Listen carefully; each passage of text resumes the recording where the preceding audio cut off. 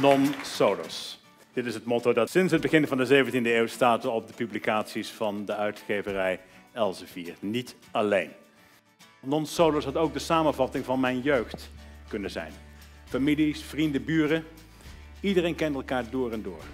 En iedereen hielp elkaar. Non solus lag, zo gezegd, op straat. Er leefden toen 3 miljard mensen op aarde. En we zagen de opkomst van nieuwe technologie. In 1960 waren er in heel Nederland 34 computers. Nu leven er 7,5 miljard mensen op aarde en zijn er wereldwijd zo'n 55 miljoen computers verkocht. In de eerste drie maanden van dit jaar.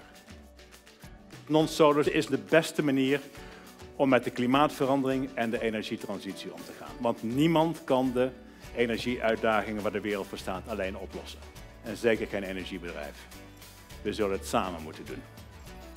Nou, ik weet dat sommige mensen denken dat de wereld morgen, of anders misschien wel overmorgen, kan stoppen met traditionele brandstoffen. En als het inderdaad zou kunnen, dan zou ik dat van harte toejuichen. Maar het is nou eenmaal niet zo eenvoudig als wel eens wordt beweerd.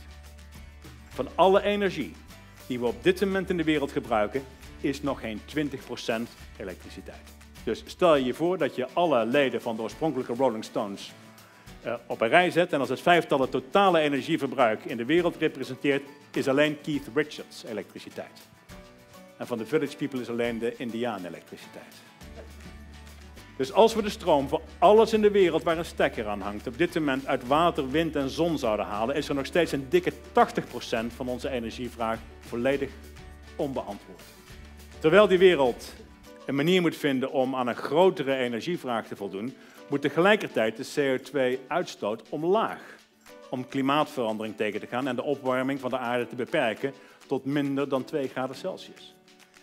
En dat is geen eenvoudige opgave, daar zijn we denk ik allemaal wel over eens in deze zaal. Maar er is ook positief nieuws, want ik geloof dat het best wel gaat lukken. En hoe we dat gaan doen, nou dat heeft u wel gehoord. Non-solus. We doen het samen. Iedereen zijn eigen rol, maar wel met elkaar. En over de rol van Shell heb ik eigenlijk wel een duidelijk beeld.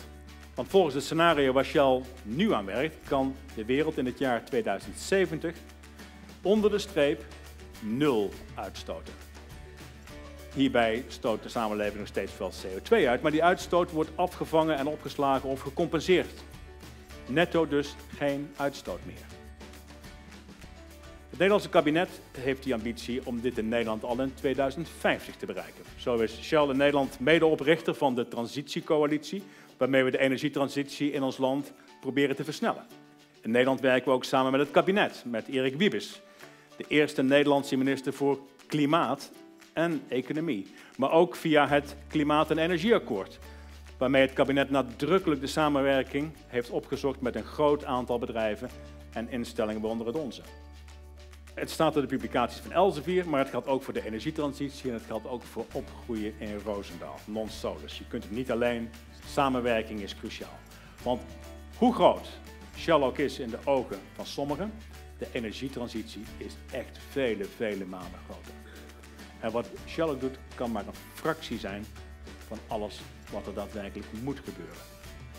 Want ik weet zeker dat we met de juiste samenwerking straks aan de andere kant van de energietransitie in een wereld leven met schone energie voor iedereen. Dankjewel.